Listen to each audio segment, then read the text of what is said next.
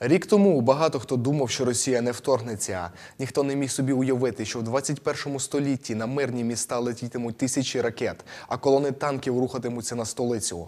На річницю російського вторгнення депутати від фракції Рідне Закарпаття Василь Петьовка, Владислав Поляк, Валерій Лунченко та Роберт Горват звернулися до українців. Український дух виявився міцнішим ніж російська армія.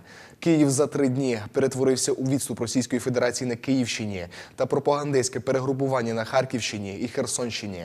В один момент українці всі як один об'єдналися, щоб бути корисними для військових та вимушених переселенців. Коли українка збила дрон банкою з солінням, тракторист віджав бойову машину, а підприємці зробили прилавок для продажу картоплі з уламків ракети. Всі зрозуміли, цей народ не перемогти. Сьогодні низький уклін, щира вдячність і молитва за тих, хто бореться за перемогу, за тих, хто на полі бою, за кожного і кожну.